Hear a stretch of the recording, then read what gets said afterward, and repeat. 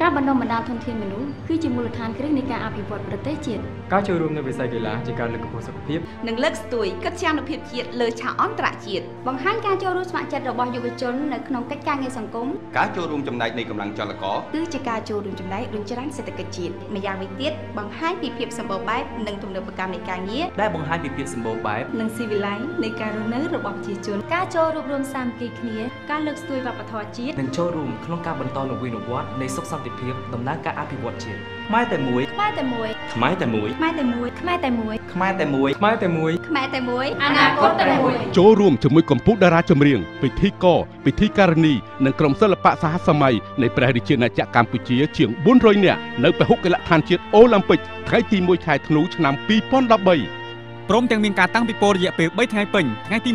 29 30ខែវិច្ឆិកានិងថ្ងៃទី1ខែធ្នូ2013 សហភាពសហព័ន្ធយុវជនកម្ពុជា ក្រោមប្រធានបទខ្មែរតែមួយ អនាគតតែមួយ